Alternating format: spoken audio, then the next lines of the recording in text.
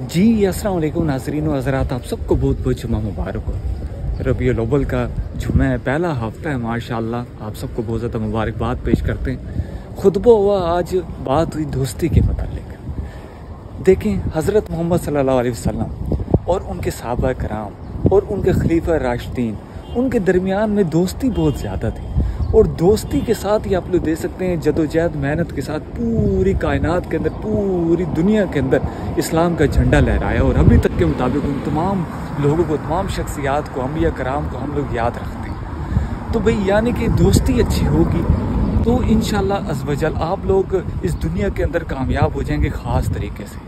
तो अल्लाह ताला से दुआ करते हैं। अल्लाह ताला तमाम लोग को अच्छे दोस्त नसीब फरमाए और इस शायक तो ये कहेंगे, अगर दोस्ती आपके पास मौजूद है, दोस्त मौजूद है तो उसको संभाल के रखें। उनके साथ आप लोग इस तरीके से पेश आएँ कि आप लोग की दोस्ती के ज़रिए पूरी दुनिया के अंदर आप लोगों का नाम हो जाए। अल्लाह ताला ही हिफाजत नमाए तमाम लोगों की। सलाम अलैकुम।